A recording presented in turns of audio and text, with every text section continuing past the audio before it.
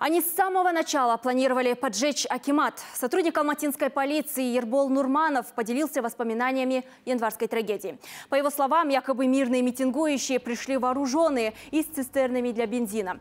Затем толпа разъяренных людей, прорвав оборону силовиков, в числе которых был и наш герой, начали крушить все на своем пути. При этом определенная группа начала методично поджигать главное административное здание города начала. В то время от нападавших пахло алкоголем. Они крушили фонари перед Акиматом, вырывали и выбрасывали. Бордюры приготовили, бензин тоже. Наших избивали, калечили.